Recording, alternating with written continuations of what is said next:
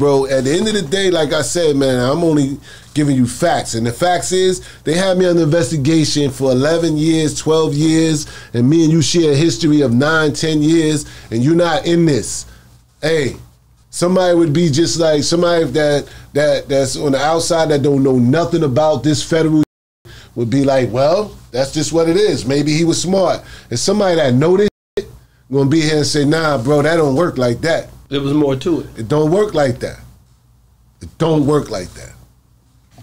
It don't work like that. You hear? They, they- I told you they had me on investigation from '88 up. But yet you can hear reasonable doubt say we've been getting money since '88. So you around? You clarifying that you around, right? Yeah, we on Boss Talk 101. 101. Yeah, we gonna talk. You know what I mean? Um, a lot of people thinking about this is a hate book, I'm a tell all book type of situation, but it's basically just about my life, you know, how I dealt with this. Hmm.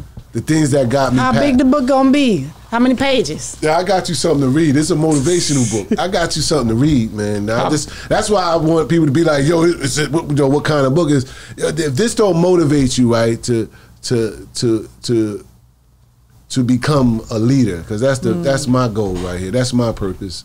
I see what God got for me to lead, to be a leader in some pos- whatever positive way that I'm gonna end up be doing. Right. But um, it's to show people like how the game goes, how people could count you out, how people can be show the utmost disrespect for, to you, right, and your family, and you still maintain, uh, you know, and get through it, and come and still see a positive way in it, it's a positive outcome from this. Don't matter what, you know what I'm saying, and, and where forgiveness will get you. You know what I mean? And I think this will motivate them a lot. Is know? Emory in the book? Definitely. So that's Because that was hurt and pain.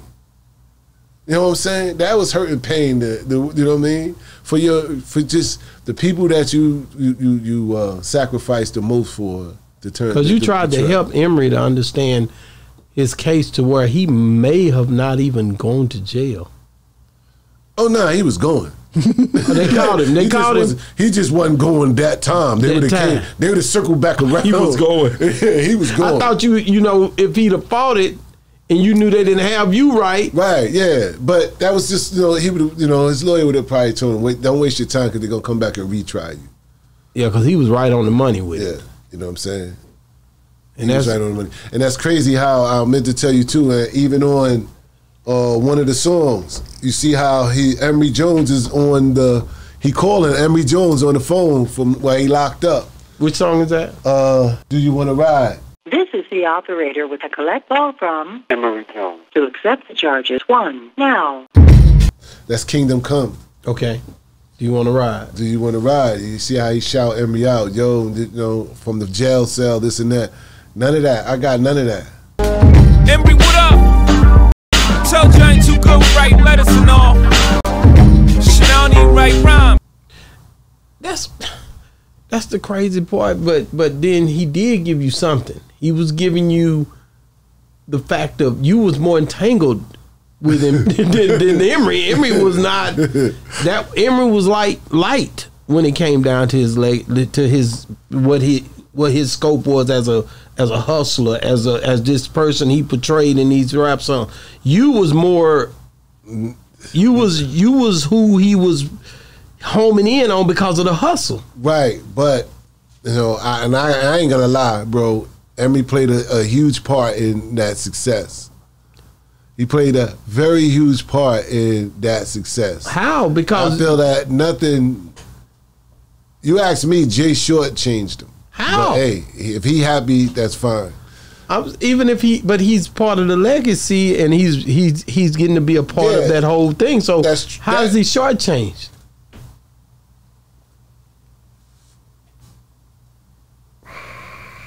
How is he shortchanged? You think about it. If you you look at his him being shortchanged, if he's shortchanged, you definitely you, shit, you ain't getting no change at all. You know what? Everybody uh, is different, I guess. You see what I'm saying? Yeah. You you because that's something that me. Um. I wouldn't be I wouldn't be in the shadows of Jay. You get what I'm saying? That may be why I you're wouldn't have been with in the shadows of Jay. That's probably why You you're not there. Think about that. What you I'm saying, nigga? You, right? said the same Let thing. me go away, He not and I'm gonna gonna let do. you. I'm gonna do that much time for you, and I'm gonna come back home, and I'm gonna be in your shadows. It's me personally. I'm not that guy. I'm not that character. Now you but see, some you people just said is something. okay with that. You just said, "I go to jail for you." I don't know the case. What the what the I'm hell trying you just say? you, like, how Emory- did Emory go to jail for Jay? Because no, at the end of the day, He was on the streets doing his thing with Jay in mind. You see what I'm saying? um, Jay could. I mean, Emory could have made bad situations. He could have made. He could have made it bad for Jay. But then again, he couldn't because guess what? They ain't asked about Jay, and and that's a problem. but he could have brought Jay into the scenario. Yeah, yeah, you can't bring them into nothing if they don't want him. That's how they play. Oh man! You know what I'm saying? They want who they want. They, they don't want to hear nothing else. You know how they work. But but do you think they? When you think about Jay,